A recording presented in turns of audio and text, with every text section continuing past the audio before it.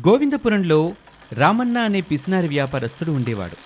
తను ఏదైనా తీసుకునేటప్పుడు ఎక్కడా లేని సంతోషంతో తీసుకుంటాడు.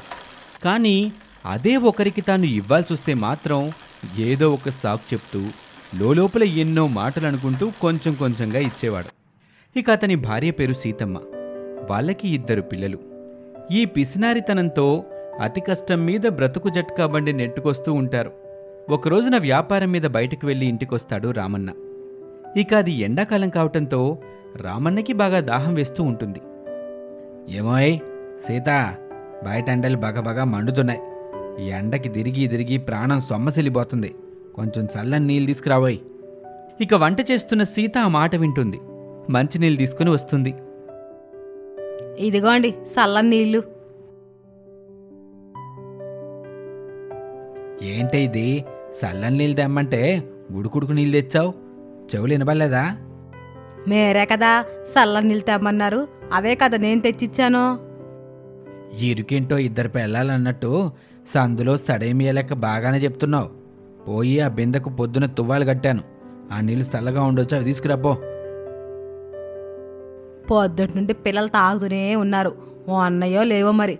పోయి చూసి తెత్త ఆగు ఆ, కొంచెం తొందరగా తీసుకురాపో. చల్లని నీళ్ళ కోసం గొంతు ఎండిపోతుంది. పోయే పోయే అంటే ఎటన్నా పోయేవు.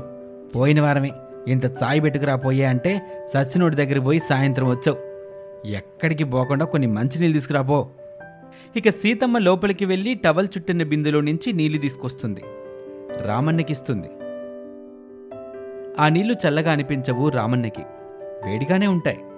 దాంతో రామన్నకి కొద్దిపాటి కోపం వస్తుంది. చల్లని నీళ్ళు ఇంట్లో లేవానే సీత. మళ్ళీ ఉడుకుడికి నీళ్ళే తెచ్చావు.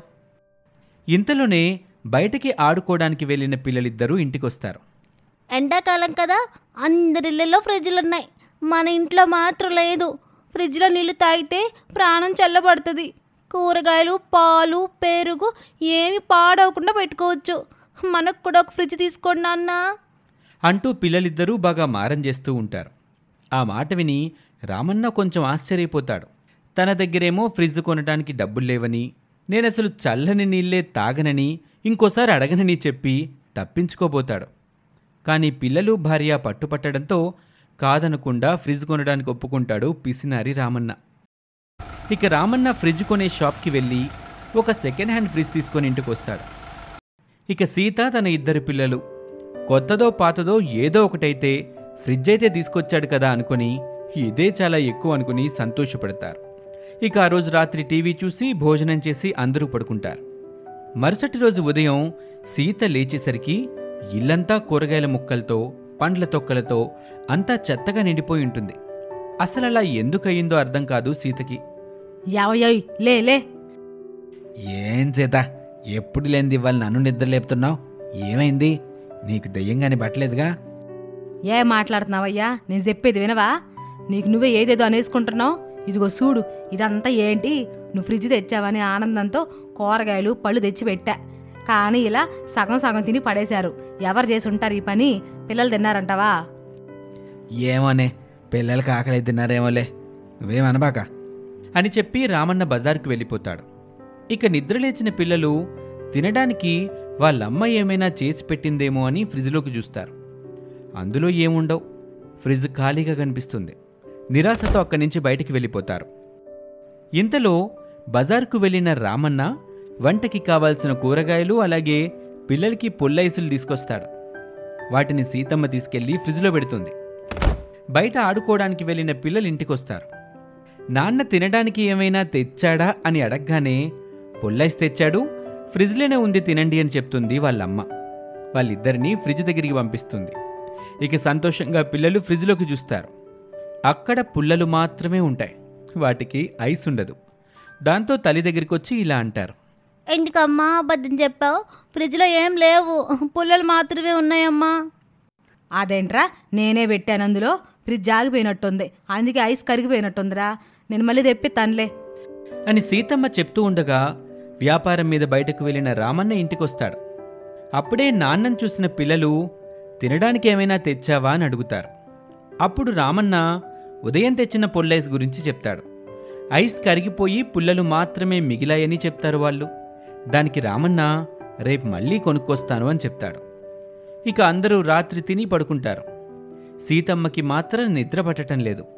పిల్లలు బాధపడకూడదు అని కరెంటు పోయింది అందుకే పుల్లైస్ కరిగిపోయింది అని చెప్పింది తప్ప అసలు ఐస్ క్రీం ఏమైందా అని ఆలోచిస్తూ ఉంటుంది సీతమ్మ.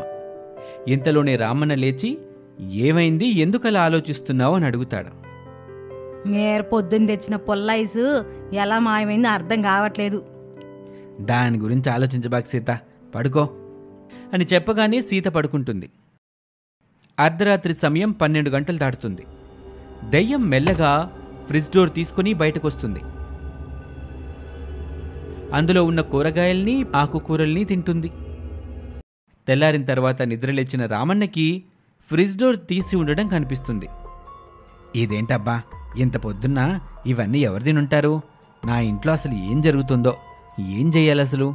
తెలుసుకోవటం ఎట్టా? అని ఆలోచిస్తూ ఉంటాడు రామన్న. ఇంతలో అతని దగ్గరికి టీ తీసుకొని సీతమ్మ వస్తుంది. భర్త అలా దిగాలుగా కూర్చోవటం బాధేస్తుంది ఆమెకి. ఏమైంది అని అడుగుతుంది. దానికి రామన్న ఏమీ లేదని సమాధానం చెప్తాడు. ఇక అప్పుడు సీతమ్మ రామన్నతో ఇలా అంటుంది. చెప్పకపోతే నాకెలా తెలుస్తుంది ఏమైందో చెప్పు. మనసులో మదన పడితే గుండు బరువెక్కుతుంది సీత రోజు రాత్రిపూట మన ఇంట్లో మనకి తెలియకుండా ఏదో జరుగుతుంది. అదేంటో అర్థం కావటం లేదు. ఇద్దరు చిన్నపిల్లలు ఉన్నారు. ఈ ఊరు జనం అంతా మిమ్మల్ని పిసినారోడని ఎంత తిట్టినా ఎప్పుడు ఎవరిని ఏం అనలేదు. అలాంటిది మీరు ఇంతగా భయపడుతున్నారా? ఏం చేద్దాం? పరిస్థితిని బట్టి భయపడుతూ ఉండాలి. సరే గాని నేను ఒకటి చెప్తా.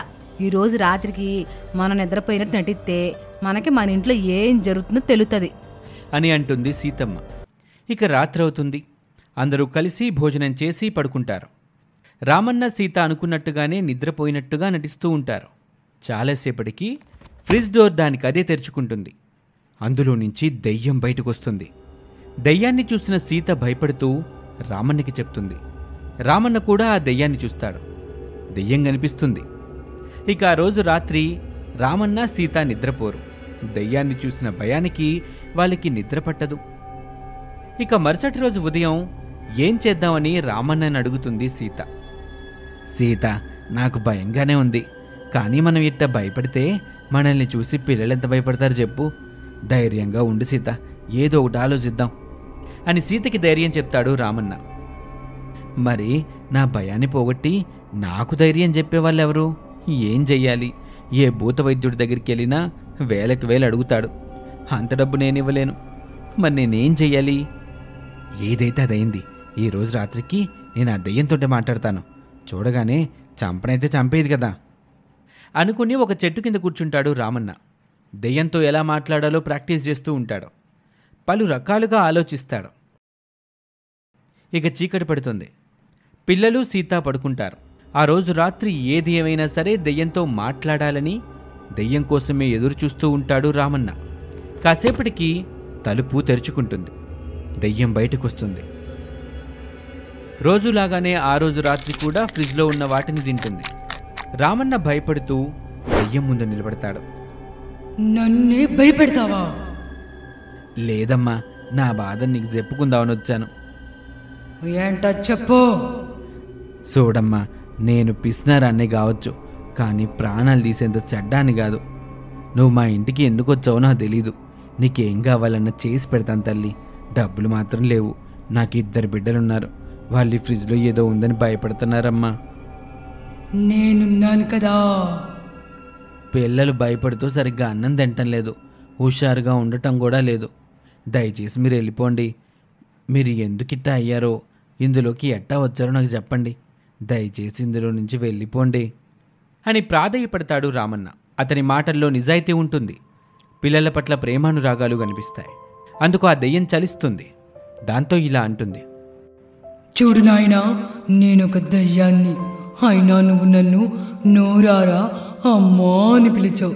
నా కోసం ఏమి కావాలి అని అడిగావు. నా కోసం ఏదైనా చేస్తానన్నావు నీ స్థానంలో మరొకరుంటే నా గురించి చెప్పి గాల్లోనూ నీళ్ళల్లోనూ కలిపేవాళ్ళు. నువ్వు మంచివాడివి.